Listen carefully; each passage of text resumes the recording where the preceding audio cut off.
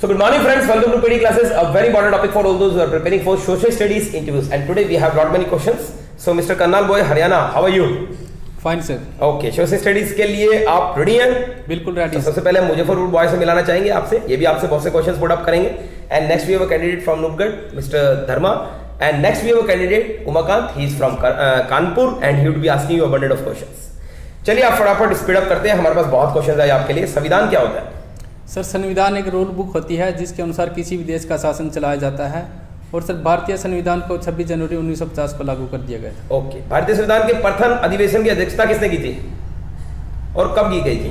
Sir Bharat के संविधान की जो संविधान सभा थी सर उसकी अध्यक्षता डॉक्टर सच्चिदानंद सिन्हा के द्वारा की गई थी जो कि 9 दिसंबर 1945 1946 को की गई थी गुड भारतीय संघ में कितनी सूचियाँ? सर भारतीय संघ में चार अनुसूचियाँ हैं संघ सूची। कीजिए। संघ सूची राज्य सूची समवर्ती सूची और अवशिष्ट शक्तियाँ। ओके भाषा के आधार पर सर्वप्रथम गठित राज्य? सर भाषा के आधार पर सर्वप्रथम गठित राज्य आंध्र प्रदेश है जो उन्नीस सौ तिरपन में गठित किया गया। भारत में नागरिकता की प्राप्ति करने के आधारों को प्रदान की जाती है। सर कई आधार हैं नागरिकता प्रदान करने के भारत में। जैसे कि जन्म के आधार पर नागरिकता प्रदान कर दी जाती है। अगर किसी का जन्म 26 जनवरी 1950 के बाद भारत में हुआ है तो। और समाप्ति किस आधार पर की जाती है? सर मैं उस वो कंटिन्यू करिए कोई बात नहीं। आप नेक्स्ट क्वेश्चन पे आ जाइए। समाप्ति किस आधार पे की जाती है? सर इसके भी कई आधार हैं इसको समाप्त करने के। या तो कोई नागरिक किसी और देश की सदस्यता ले ले लेता है तो उसको भारत की नागरिकता त्यागनी पड़ेगी। ओके अगर वह भारत में कुछ ऐसा क्राइम कर देता है या फिर जैसे वीज़ा मालिया जी चले गए हैं अभी हमारे पैसे लेके उनको वापस भी ले यहाँ पर बुलाया जा सकता है नहीं तो उनकी नागरिकता रद्द भी कर सकता है या उसने कोई ऐसा क्राइम किया हो। ओके अगर वह किसी दो देशों की नागरिकता प्राप्त कर लेता है तो उसकी भी नागरिकता रद्द कर दी जाती है सर। मौलिक अधिकारों से आप क्या समझते हैं?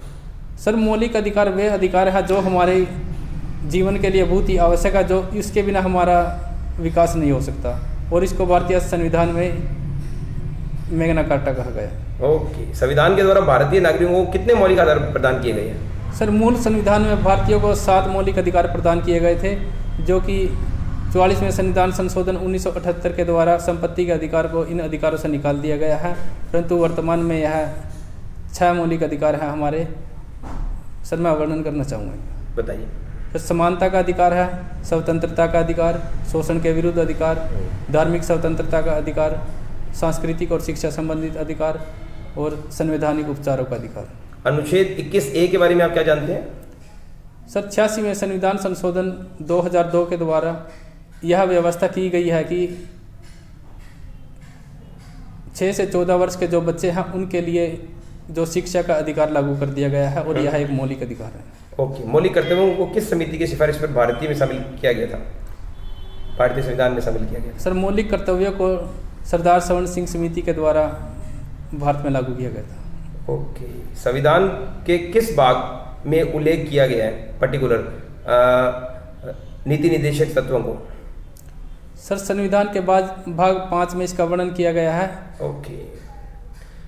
भारतीय राष्ट्रपति को नाम मात्र का अध्यक्ष क्यों कहा जाता है? सर भारत में संसदीय प्रणाली को अपनाया गया है और संसदीय प्रणाली के तहत जो देश का प्रधान होता है वह नाम मात्र का होता है और उसकी सारी शक्तियों का उपयोग प्रधानमंत्री और उसकी मंत्रिमंडल द्वारा किया जाती है ओ किया जाता है। राष्ट्रपति का निर्वाचन कौन आ, कैसे होता है? उसमें कौन कौन भाग लेता है?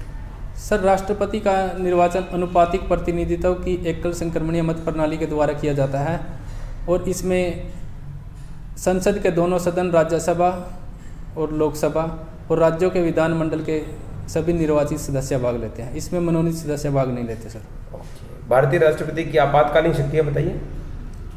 सर राष्ट्र भारतीय राष्ट्रपति की तीन आपातकालीन शक्तियाँ हैं। एक तो है सर उनसे तीन सौ बावन के तहत आपातकाल लगाया जा सकता है। एक है अनुच्छेद तीन सौ छप्पन के तहत राष्ट्रपति शासन लगाया जा सकता है राज्यों में और तीसरा है सर अनुच्छेद तीन सौ सत्तर के तहत। अगर भारत पर कोई वित्तीय स्थिति आ जाती है यानी कि वित्तीय संकट आ जाता है तो राष्ट्रपति शासन लागू किया जा सकता है। वेरी गुड बहुत बढ़िया। Yes mister Kanpur boy Umakant you can have your questions आप हमें ये बताएँ भारतीय भाषाओं को संविधान के किस भाग में रखा गया है है? भाग में सर? आप हेल्प कीजिए। कैरी ऑन अनुसूची में। सर आठ में। सॉरी सर मैं रिकॉल नहीं कर पाया। आठ में? यस आठ भाग आठ में। भाग आठ में भारतीय भाषाओं का अनुसूची भी कह सकते हैं थैंक यू सर और क्वेश्चंस लोकसभा में राष्ट्रपति कितने सदस्य मनोनीत करता है सर ये बताइए। सर लोकसभा में राष्ट्रपति दो सदस्यों को मनोनीत करता है। कौन से सदस्य? सर वो अंगल भारतीय सदस्य होते हैं। राज्यसभा में कितने सदस्य मनोनीत करता है राष्ट्रपति। सर भारतीय राष्ट्रपति के द्वारा राज्यसभा में बारह सदस्यों को मनोनीत किया जाता है जो कि कला साहित्य विज्ञान और समाज सेवा के क्षेत्र में उत्कृष्ट कार्य करते हैं उनको मनोनीत किया जाता है। सर मैं बताना चाहूँगा कि अभी दो दिन पहले ही जो हमारे सुप्रीम कोर्ट के जज थे रंजन गोगोई जी। सर उनको राज्यसभा का सदस्य नियुक्त किया गया राष्ट्रपति जी के द्वारा नेक्स्ट प्लीज़ हरियाणा के राज्यपाल कौन है? सर हरियाणा के राज्यपाल श्री सत्यदेव नारायण आर्य जी हैं। ओके। ओके प्रधानमंत्री की नियुक्ति कौन करते हैं? सर प्रधानमंत्री की नियुक्ति राष्ट्रपति द्वारा की जाती है जो मूल संविधान में वर्णन किया गया है। परंतु इसमें भी राष्ट्रपति स्वैच्छिक नहीं है कि वो अपनी इच्छा से किसी को भी भारत का प्रधानमंत्री नियुक्त कर दे। इसके लिए जिसको लोकसभा में बहुमत प्राप्त होता है जिस भी पार्टी को उसके उसका जो लीडर होता है सर उसको प्रधानमंत्री नियुक्त किया जाता है राष्ट्रपति के द्वारा। वेरी भारत के महान्यायवादी कौन है और इसमें अ, इनको कौन नियुक्त करता है? न्यायवादी कौन है? सर वर्तमान में भारत के न्यायवादी न्या- भारत के महान न्यायवादी के के वेणुगोपाल है और इनको राष्ट्रपति के द्वारा नियुक्त किया जाता है। भारतीय संसद किन किन से मिलकर बनती है? सर भारतीय संसद राष्ट्रपति राज्यसभा और लोकसभा से मिलकर बनती है। भारतीय लोकसभा के बारे में बताएँ। सर भारतीय लोकसभा हमारी संसद का दूसरा भाग है और यह नियमन सदन होता है। इसको भंग भी किया जा सकता है समय से पहले। वैसे इसकी अवधि पाँच वर्ष होती है। अगर सर लोकसभा में जो सत्ता पक्ष है उसको पूर्ण बहुमत ना हो तो उसको कैंसिल मतलब सर भंग किया जा सकता है उसको। और लोकसभा के सदस्यों की संख्या संविधान के तहत पाँच सौ बावन निर्धारित की गई है परंतु वर्तमान में इसके सदस्यों की संख्या 545 रखी गई है। सर दिन में से 543 सदस्य होते हैं लोकसभा में। वो राज्यों जो डायरेक्ट जनता के द्वारा सर उनका चुनाव किया जाता है और दो सदस्यों को राष्ट्रपति के द्वारा मनोनयन किया जाता है। और इनके अध्यक्ष कौन है? लोकसभा अध्यक्ष? सर लोकसभा के वर्तमान अध्यक्ष श्री ओम बिरला जी हैं। ओके। भारतीय संसद में कितने स्तर है? भारतीय संसद में कितने स्तर होते हैं? Okay sir. सर भारतीय संसद के तीन सत्र होते हैं। बजट सत्र होता है। जो बजट सत्र है सर ये फरवरी से मई तक चलता है। और जो मानसून सत्र होता है सर वो जून और जुलाई में चलता है। और जो शीतकालीन सत्र होता है वो नवंबर और दिसंबर में चलता है सर। ओके। धन विधेयक पारित करने की प्र, प्रक्रिया के बारे में बताइए। सर धन विधेयक को सिर्फ़ लोकसभा में ही पेश किया जा सकता है। और इसको राष्ट्रपति की अनुमति से लोकसभा में पेश किया जाता है। भारत का मुख्य न्यायाधीश कौन है और सर्वोत्तम न्यायालय में कितने न्यायाधीश होते हैं? सर भारत के मुख्य न्यायाधीश श्री बोबडे जी हैं और वर्तमान में भारतीय सुप्रीम कोर्ट में तीस न्यायाधीश और एक मुख्य न्यायाधीश हैं। ज्योग्राफी भूगोल का अर्थ क्या होता है? सर जोग्राफी दो शब्दों के मिल से बना है जो कि इंग्लिश भाषा के हैं। Geo plus graphy.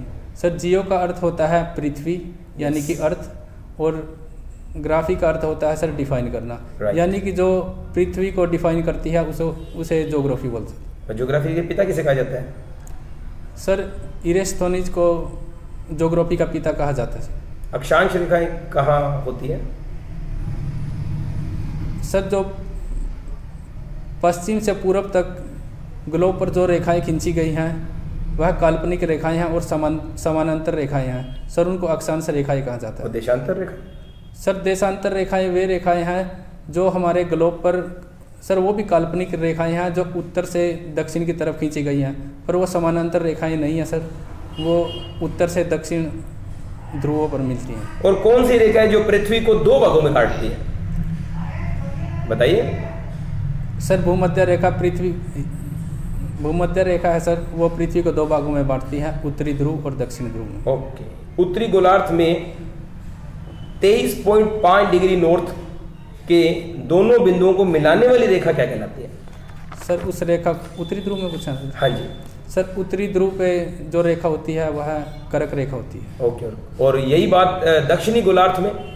तेईस पॉइंट पाँच डिग्री के दोनों बिंदुओं को मिलाने वाली रेखा क्या कहलाएगी? सर तेईस दशमलव पाँच डिग्री के दोनों बिंदुओं को मिलाने वाली रेखा जो दक्षिण गोलार्ध में है सर उसको मकर रेखा बोलेंगे। वेरी गुड बहुत बढ़िया। Next please you can have your question mister मकर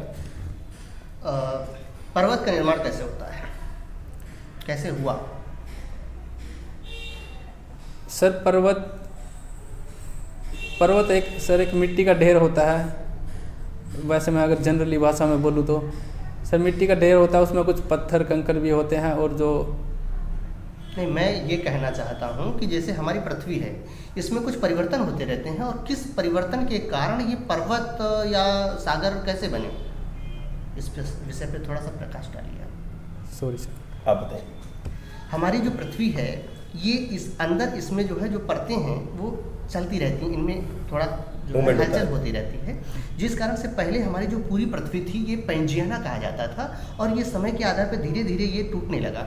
जब ये टूटा तो इसकी जो चट्टाने खिसकी तो जहाँ पे कोई चट्टान एक दूसरे के ऊपर हो गई वहाँ पर पर्वत का निर्माण हो गया और जहाँ पर चट्टान अलग हो गई उस स्थान पर सागर का निर्माण हुआ है। इस प्रकार से हमारी पृथ्वी very good next please mister Dharma Lodhi वंश का संस्थापक कौन है? सर लोधी वंश का संस्थापक बहलो लोधी ओके भारतीय मानक समय कहाँ से लिया गया? सर भारतीय मानक समय बयासी दशमलव पाँच डिग्री पूर्वी देशांतर जो कि विंध्याचल शहर मिर्ज़ापुर के पास में है जो कि नैनी इलाहाबाद के पास से है सर। सबसे बड़ा ग्रह कौन सा और कितने उपग्रह है उसमें? सर सबसे बड़ा ग्रह बृहस्पति है और इसके 67 उपग्रह हैं। ओके शनि ग्रह का सबसे बड़ा उपग्रह कौन सा है? सर शनि ग्रह का सबसे बड़ा उपग्रह टाइटेनिक है। सर यह बुध ग्रह के बराबर से ओके। ऐसे कौन से ग्रह जो सूर्य के चारों ओर पूर्व और पश्चिम दिशा में परिभ्रमण करते हैं? सर एक तो शुक्र है और दूसरा अरुण है सर। भोर का तारा या शाम का तारा किसे कहते हैं? शुक्र ग्रह को बोर का तारा और शाम का तारा कहा जाता है क्योंकि यह बहुत अधिक चमकता है और हम नॉर्मल आँखों से भी इसको देख सकते हैं। और लाल ग्रह कौन सा है? सर मंगल ग्रह को लाल ग्रह कहा जाता है। ओके। और शुद्र ग्रह? सर शूद्र ग्रह वह ग्रह है जो मंगल से बृहस्पति की कक्षाओं के बीच में छोटे छोटे आकार के होते हैं। ओके। भारत में हरित क्रांति का श्रेय किसे दिया जाता है? सर भारत में हरित क्रांति का श्रेय श्री एम एस स्वामीनाथन को दिया जाता है। शुरुआत इसकी कब हुई थी? सर इसकी शुरुआत 1966 और सतासठ में की गई थी। आपने इंट्रोडक्शन दे सकते हैं? यस सर दीजिए। Sir I am Manoj Kumar my name means winner of heart sir मैं एक जोवियल पर्सन हूँ। और अपने आसपास के लोगों को उदास नहीं देख सकता। गुड अगर वह किसी समस्या में होते हैं तो मैं उनकी हर संभव मदद करने का कोशिश करता हूँ। Very good sir I belong to Karnal Haryana which is famous for its lakes N D R I and medical college okay sir I have done masters in in science with first first and B Ed from Kurukshetra university Kurukshetra, Haryana. Okay हमारे पास recently Karnal से student था सुखविंदर। वो आज NVS में ही selected है। हम भी ये चाहते हैं कि नेक्स्ट टाइम जब हम अगला किसी का इंटरव्यू लें और वो करनाल से हो तो हम आपका भी नाम लें और यही बोलें कि हमारे पास भी मनोज नाम से व्यक्ति था और सुखविंदर का तो नाम लिया ही जाएगा सुर्खियों में ही रहेगा। सर, मैं भी Okay? कोशिश करूँगा और आपका भी नाम रहे कि आप भी सिलेक्ट हो। आपकी हॉबीज क्या है? Sir my hobbies are reading teaching and meeting new personalities और आपकी स्ट्रेंथ्स सर माई मेरी स्ट्रेंथ है सर कि होनेस्टी पंचुअलिटी और पॉजिटिव एटीट्यूड आप इसको स्ट्रेंथ ना बोलकर स्ट्रेंथ बोले। यानी कि ई की मात्रा लगाए। स्ट्रेंथ ना कि सट स नहीं बोलना इसको। ई से शुरुआत करनी है। Strength otherwise it is good okay I hope this session is good to the candidate शाबाश वेरी गुड